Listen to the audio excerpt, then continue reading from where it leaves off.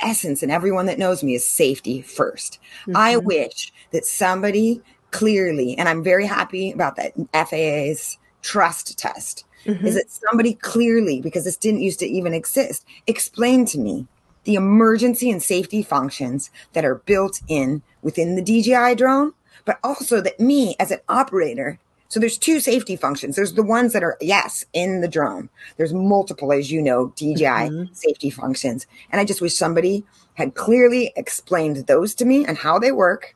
Because if you know those and you know how to actually have a little practical experience doing it, plus me as a pilot, you know, your the, the visuals and the other weather checks, you know, the things I can do. If I knew those two sets of safety procedures, and that's what I tell my students, if you do those, your chances of crashing or losing your drone are extremely Oh my gosh, so small. Like if you understand the safety, DJI does so much for you. And I feel mm-hmm. like nobody knows. Actually, I'm curious, what's your favorite safety setting or the one that you think is most helpful for your students? Knowing how to engage and disengage return to home. Yeah. people know it exists on there. And then when I do it, so like when I'm doing training, either I have them, you know, engage or disengage, or I have them engage it when they are less than 20 meters from the home point. Mm-hmm. Because if it, they engage it closer than that, it auto lands, mm-hmm, which freaks mm-hmm. people out but you know um, understanding how to engage and disengage that that's like one or that when it is returning to home not to touch the darn sticks. If you can't see that drone you need to trust the technology. If you were in that much of a pinch that you had to engage return to home because you couldn't find your drone you're that joker. It's like ah and you're freaking out and you have to do it then you just let go of those sticks and you chill out and you trust that technology is going to do what it needs to do. Because what people don't realize is when it's returning to home, if you start freaking out and start pushing the sticks, mm-hmm. the drone, you still have Stops. control of the drone. Yeah. You still have control. You can turn it, you can make it go up and down. And if you don't see it and it's coming home and you start messing with it, you can push it right into a building.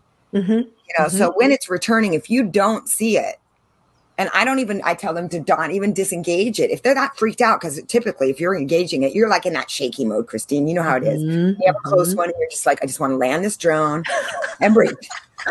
like, like, you know, at that point, you know, maybe auto land it. And, you know, you know you can land it, but you're like a little shaky. So like, just do it and, and catch yourself. You know, that's and a so great one. In that mode, you got to be calm. So like a lot of things, I, I call my drone because I do first of all with my my trainees they're usually a longer term program. So i'll do like a one week boot camp i call it where we go out there and i always tell them where's the windiest place? Where's the worst place? Where's this place? I want every emergency to happen. Where's mm. the big utility towers? Let's launch it next to the mm-hmm. cell tower see if we can get some interference. Because mm-hmm. i want them mm-hmm. to see the warnings Yes. go down into the marinas oh. and try to oh. get electromagnetic when I'm there because I, I love I that. want is them off on their own and to them to come into some new experience. I so agree. It's like boot camp. And then I do a longer term, like where I'm their coach because they're setting up and they're implementing a mapping strategy, a monitoring strategy, how to, as you know, data management, all this media, mm-hmm. all this data. And then we're uploading it and creating like mapping data too. So we have double data. It's, if you know how it is. If you there is a lot. hold on. let me add to your your safety setting from before because i think this is really important. Auto return to home is something that everyone needs to understand how it works because you are like you're talking about using it when you're freaking out. And you need to let your drone do its thing. But the one i would add is i'm always updating my auto return to home height before I go fly. Oh, yeah. Because if your auto return height mm. is set to the Maldives, which is like 30 feet, which is like the tallest palm tree around, right? Like the Maldives highest point, I don't know if you know this, it's like seven feet. there's nothing. I've been dying to go there like 20 years. Yeah. But but your auto return to home for a city, right? In St. Pete, Florida, for example, you got to clear those buildings. Like that's probably like two at the lowest like 240 feet but yeah. some of those buildings are um, pretty tall so you got to you got to change that return to home height but I think another newbie ex- like problem is like people think, okay, auto return to home. I'm going to set it at the highest height. It's always going to be because I was talking meters, 120, 120. And I'm like, no, you guys, that's like the dumbest thing because usually you're engaging that because battery's low yeah. or there's some other critical mission. Oh, it and takes time like, to get up there. you don't want it to go up and then it spins around and then it, mm-hmm. you know mm-hmm. how it is. It sucks way more battery and automate any automated mission, especially if there's wind that day. Now it's flying oh. back to you at the highest height with a ton of wind, and that ain't good either. Okay,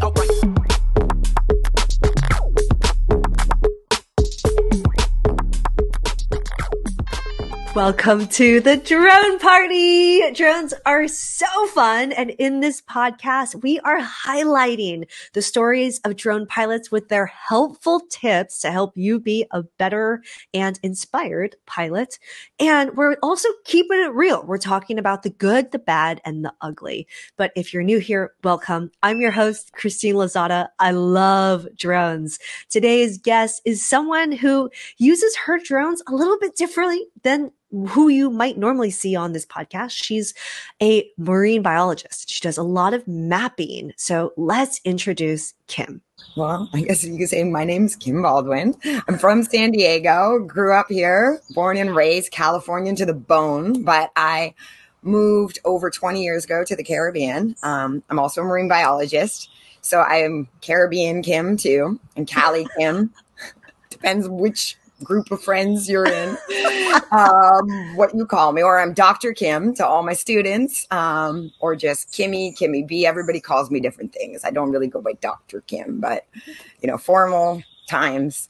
Um, but yeah, born and raised here, lived 20 years in the Caribbean. I'm a marine biologist. And as I mentioned, I just started flying drones, not because I was some geeky girl or even a photographer. I started flying drones as a tool for my job it all of a sudden was this game. I knew it was going to be a game changer. I was working in 3D mapping and modeling of the environment, and it was just like I had to learn that. How long have you been flying for, and what do you mostly fly, or what are you currently flying now? yeah, well, that's a great question. I've been flying since 2015, like the Christmas of 2015. So myself and two brothers of mine. One's a YouTuber, one's a um, surf photographer. We all got drones at the same time, but they were boys who played video games their whole lives, and I wasn't. So that was like Christmas of 2015. Um, it was like Phantom threes, and wow. they were much harder than they are today. There's a lot of sketchy things um, with that drone. So I've been flying since then. I knew I've been doing, as I've told you before, GIS and using satellite imagery and aerial pictures for my job as a marine biologist for 15 years. I so um, I'd been using aerial pictures, using satellite imagery. So like again, like 2014, 2015, when commercial drones started getting on the scene at a really reasonable price point, and I realized I could because I was working in the, I am working in the Caribbean. We didn't have a lot of money. So to get satellite imagery, it was like very low resolution. The pixels were 30 meters by 30 meters. Wow. So you couldn't even see what's happening on the ground. Most of the islands, because as you know, they're to have like a lot of mountains are covered in clouds in the middle. Mm-hmm. So even if you could get satellite imagery, two thirds of the island would be under cloud. And then, like I mentioned, it'd be really blocky. You couldn't see anything. And it was hand me down stuff that like other people gave you. So it really wasn't the best quality. So then when drones, 1500 maybe back then they were a little more, maybe like $2,500. But mm-hmm, the fact mm-hmm. that I could actually have something for that price point that I could fly myself, capture aerial images and do what I was doing, which was environmental mapping, working with communities, working with other you know, nonprofit, small environmental groups, government agencies mapping what the environmental, the marine problems were, the issues were, the animals. And so then we had this tool now, which was a, like what I saw is this like remote control plane that my brothers like. I hated video games as a kid, like anti video games. Didn't okay, hold on. Let's double t- let's double click on that really quick. In your opinion, do you think people who are good at video games are therefore good at drones? Why or why not? Oh, I, Christine, I've, I've trained probably over 500 people to fly drones. Okay. So, and I've trained actually more women than men to fly Hmm. drones. Did not know Um, that. Yeah, which I didn't realize till recently is such an odd thing. But, um, and I can tell you hands down, gamers. So I It's would like, actually like women agree. and men, and it'd be their first flight, Christine, and then like it'll be like some timid girl, and she comes up and she's like, he hee, takes the remote, and then kills it. And starts doing like figure eights on the first flight, like, and she was like, like it's always the girl that waits to the very end. She's like the quiet one in the group, so and funny. then gets up there and kills it on her first flight. And I'm like, uh, every time, or if it's a boy, too. What- what no, are you a gamer? And it's always gamers. What is it about video games and drones do you think is helping someone? Stick control. The Stick controller. control.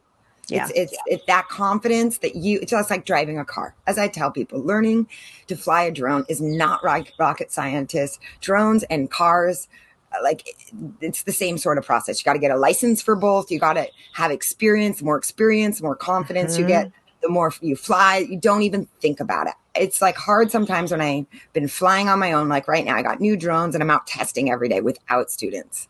Of course, random people come up and I start teaching in the beach Yeah, and whatever. yeah. But it, you know, and so I don't even think about it. So then when like next week when I start training people again, I'll have to think about explaining this, as you know, the stick controls. Like, oh yeah, it's the mm-hmm. right stick or push forward with the left. And eh, it's like I because it's so second nature now, Mhm. it's sometimes, you know, if I, harder to describe it. I agree. And I would say It's one of the things is that a lot of people who fly drones with us are adults and they are people who do not like to fail. And there's nothing similar to flying a drone if you have not played video games. Like holding the controller in your hand and navigating with the sticks is not intuitive. But if you play video games and you're used to having that kind of hand eye coordination in controlling something remotely, or mm-hmm. just you know pushing these buttons to be able to control something it's a it's definitely gives you a leg up so i agree with that Various drone story. okay So I think it was day two.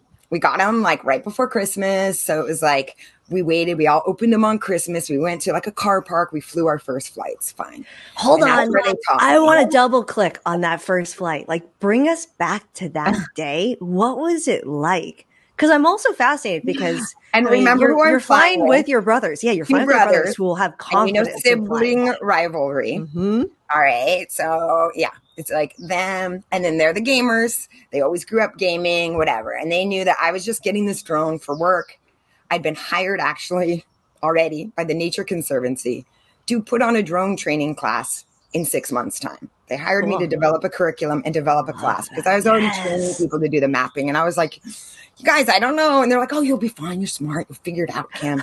and I was like, like, because I've been working with these nerds that have been doing it with satellite imagery and it like took them months. And I was like, you guys, you really think that you're fine? So like I kind of got forced into it. It wasn't something I was passionate about and I was always scared. Mm. There's another point that I have. Mhm. I was always scared. And I there's I wish I would have known what were you scared Um, of crashing. Okay, Mhm. because I didn't know I'd never flown a remote control plane. I'd never, and they both had done it. They both grew up doing, you know, they had them as kids. They played video games. So I go out with them. We go to fly. We did the first day. It was great. Um, a little scary, you know. And but the P3 back then had a lot of you had to do compass calibrations. There was a lot of Mhm, weird mhm. things. The connection was not. I mean, it's nothing like the drones today.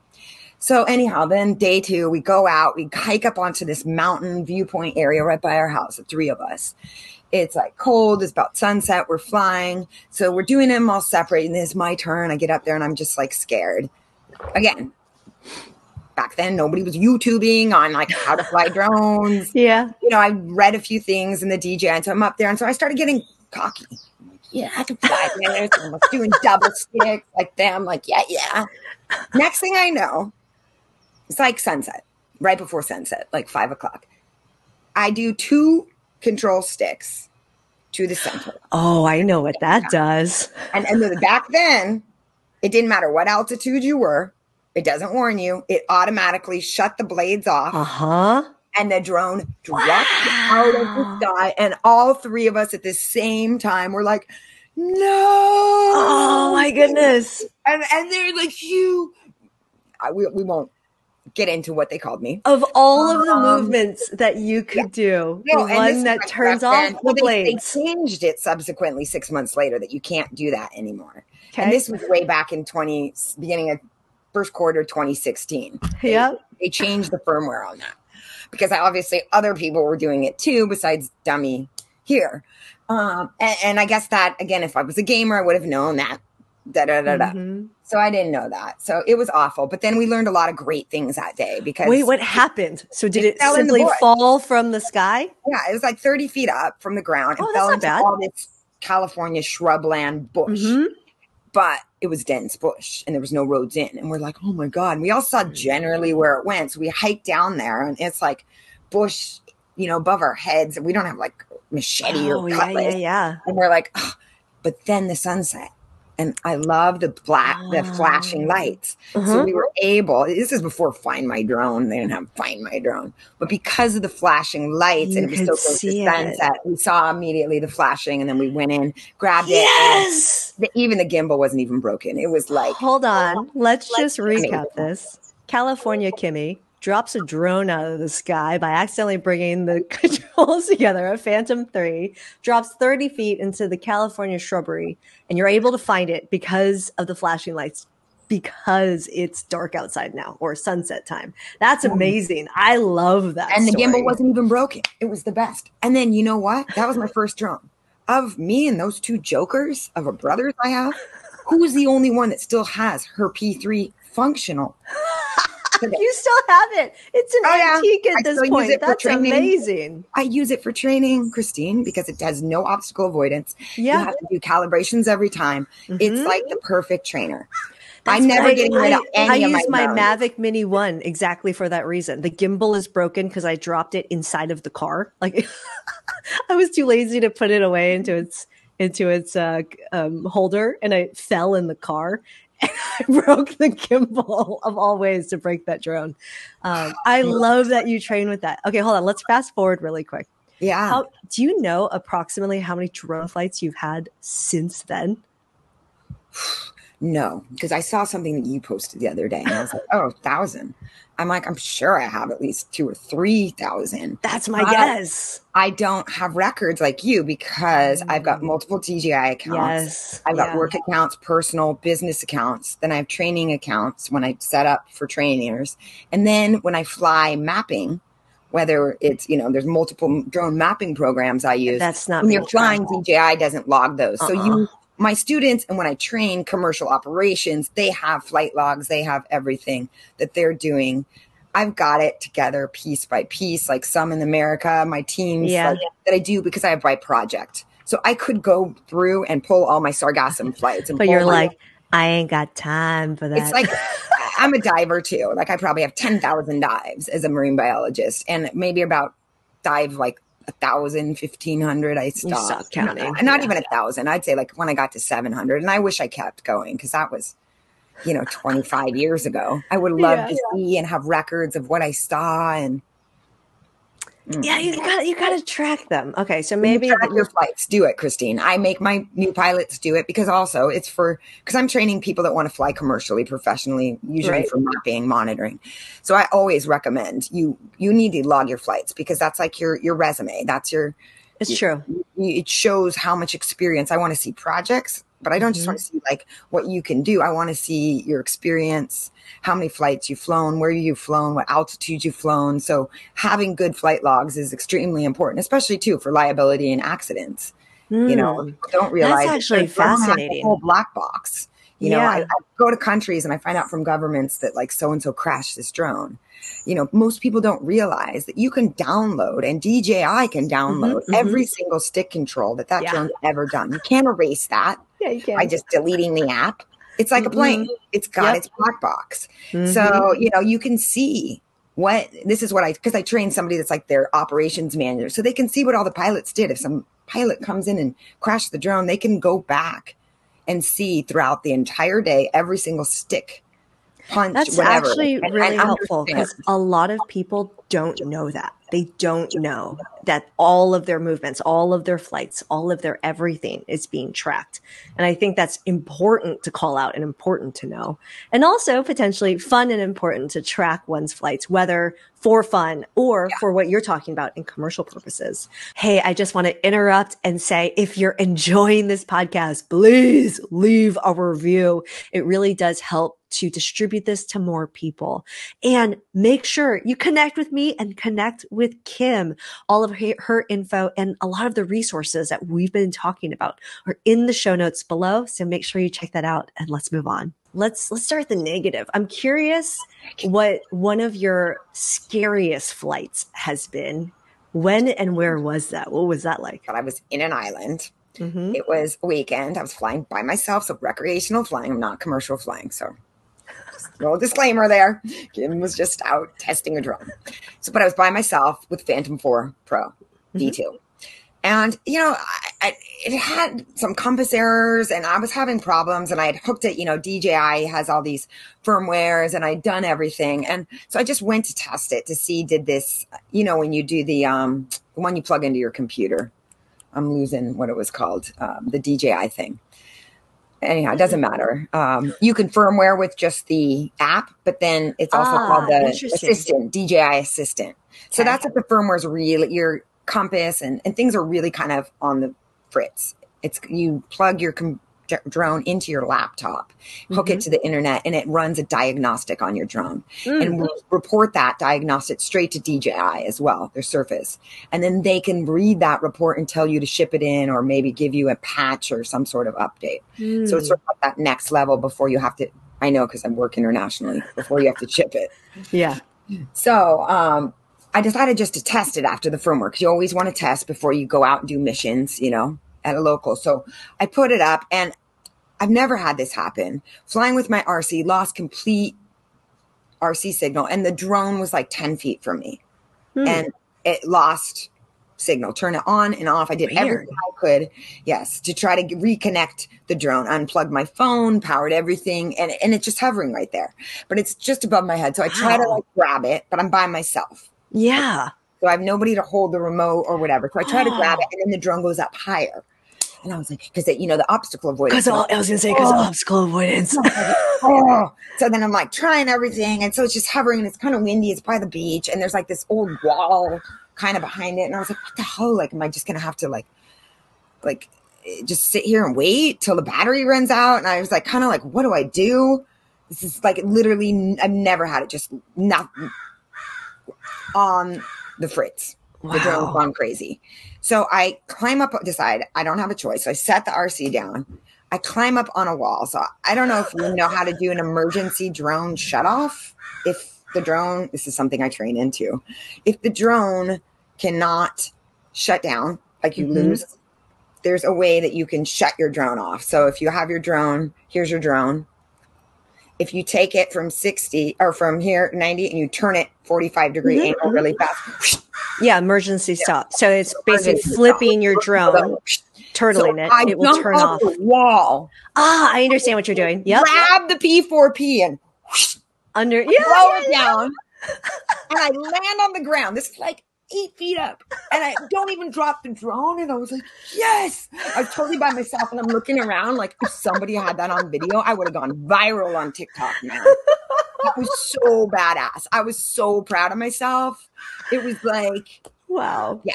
But again, I was just like really happy. I went back and I told my students the next day I was training and I was like, see, this is why you don't fly alone. Kim, whenever Kim breaks her own rules, I did it the other day too totally broke my own like, rules by like trying I, to X out my my SD I fly alone like ninety nine percent of my flights. Not commercially. Not oh yeah, not you're right, you're right, for them commercially because these mm-hmm. are organizations that are mapping, monitoring, right, and yeah. working.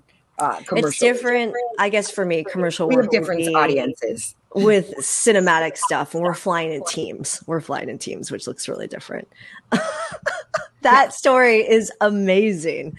All right, so that was your worst recent flight aside from your first uh your second one rather well it kind of um, shook me up a little because i thought oh my gosh like like I was kicking myself. Like, how am I going to get this drone? How am I going to get this drone? But it's that's this is also why it's so important to know the different advanced safety settings, right?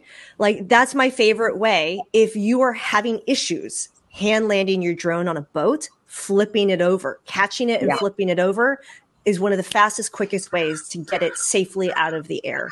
Uh, versus crash landing it onto the boat, which is what a lot of people do. And I hate hearing that. The Air 2S is a little sketchy. Sometimes. Yeah, no, it attacked my brother in Indonesia. Cut him up. Hold on, let's, let's, let's talk about this. What do you mean? Maybe you should get him on for the story because I was like wishing I was recording it so I could show it to my students. It was the best story I've ever Did heard. he have obstacle He's a badass. He, no. Yeah, there you go. That's why. Exactly. He didn't have obstacle avoidance. He's on a metal boat. He was taken off by the radar. And I'm like, this is the same joker that like he does every, breaks every law. Like he's always the example in my classes of like what not to do. So he told me mm. the story. Yeah. So he's on the front of the boat by the radar, mm. no obstacle avoidance. And then he didn't even know about the emergency shut off I just told you yeah. about. And then it like he said he was catching it and then it came back and he said it like it was like a bird. It just kept coming back at his face and like Yeah. Exa- exactly. And he finally got it and like was able and it didn't break the drone, but I was like, dude, that's one of the top things people always tell me is um, that their drone will like jump into their face or do something crazy. And I'm like, you don't hand land a drone with obstacle avoidance on. Mm-hmm. And the other thing that I see on boats that kills me is people who catch their drones over the water, that they lean over the side of the boat yeah. to catch the drone instead of letting the drone land in the middle and catch it in the middle of the boat in case something goes wrong it can at least be in the boat. So if you like, let go of it. I did it yesterday. I've watched so many people put their drones directly in the water. It pains me. And what's oh, funny is a lot of people are like, "Oh, well, drones are waterproof," and it's like, absolutely not. Well, They're- I'm sorry. Wait, can I stop you here? Oh, well, there's underwater. I have a I have a little bone to pick with you, my girl. Oh, all right. Flying drones in the rain. Oh, flying drones! Oh, I'm all about it. Yeah, you have all these great videos, and then my students are like, "Yeah, that girl, Christine, she said," and I'm like, "Listen, mm-mm, mm-mm. you don't you you only watch the videos of Christine's I tell you to watch." I'm like, she she tells you to do some stuff that no, you do not fly in rain, guys. Oh my goodness. It's I never, love your tips though. It's never one where I say, Oh, it's raining, let's send the drone. But I will say, oh, here's an example in the Bahamas last week there's a double rainbow, a double full rainbow. So full rainbow end to end. And it's a double and you can see the entire thing. And it's raining. And I was like, I need it. I need it. I need one quick shot. And it wasn't raining that much. So I waited and I'm yeah. using the app, my radar, and I'm outside looking and I'm waiting for that pocket where there's a yeah. little bit less rain of exactly where I'm at. Send it, get the shot really quick, bring it down. You just really went straight up. Yeah, literally oh, just straight right. up. Right. Okay. I said that's mm-hmm. a little better. it's like when you send it, but the way you say it when I watch you, you're like, send it. I'm like, send it. Oh yeah. Well, there, there are times I mm. do just send it in the rain, but I mean, it, it comes with risk. Okay. Hold on. Let's talk about beautiful things. Cause I just talked about something mm-hmm. beautiful with that rainbow. Tell me about your best flight or one of the best things you've seen with your drones. Oh, wow. I've seen so many beautiful things because you fly islands a lot, yeah, which um, everybody is jealous of. yeah. I I mean, gosh. I guess sometimes when I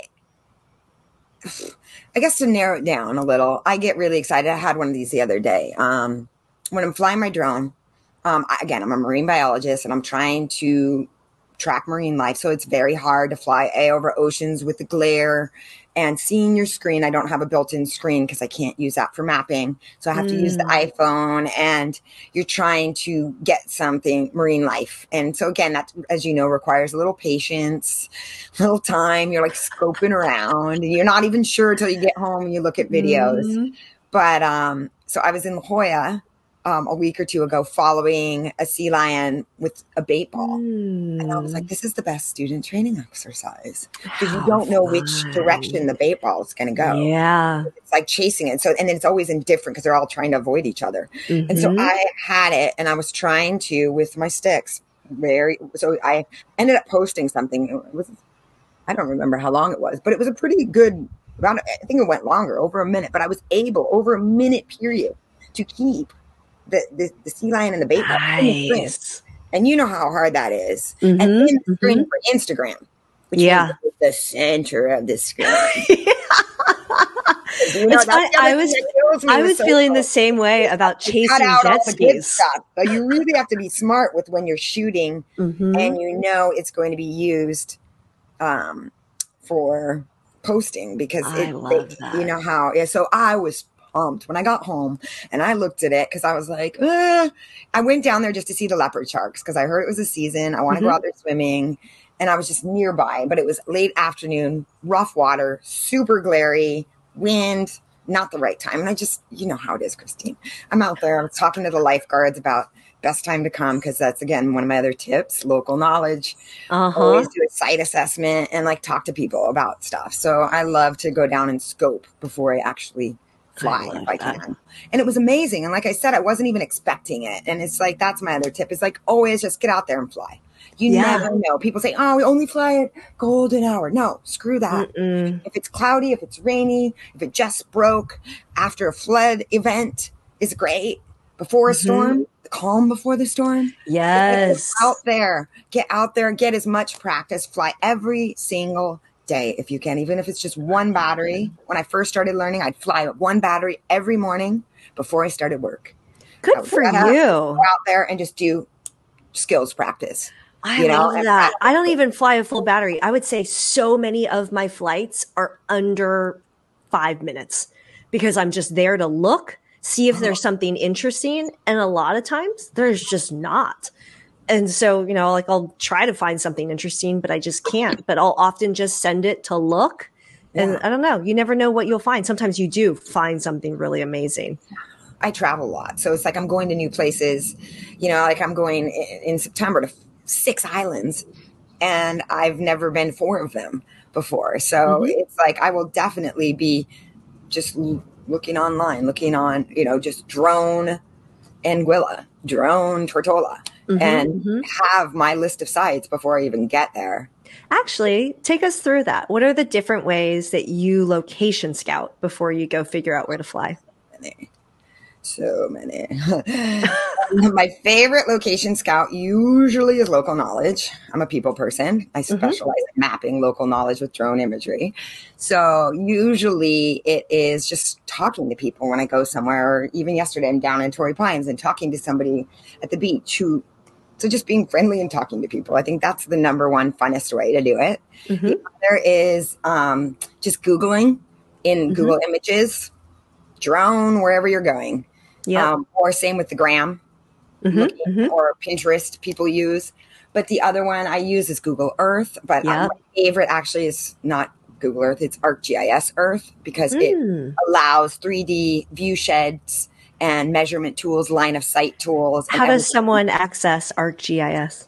It's the same as Google Earth. It's online. It's a free download desktop mm. web app. So if you just go to ArcGIS um, Earth, yeah, you can download it. That's um, a new one for me. I'm oh, so used to just using Google Satellite plus Google Earth and then all the inspiration from social media platforms.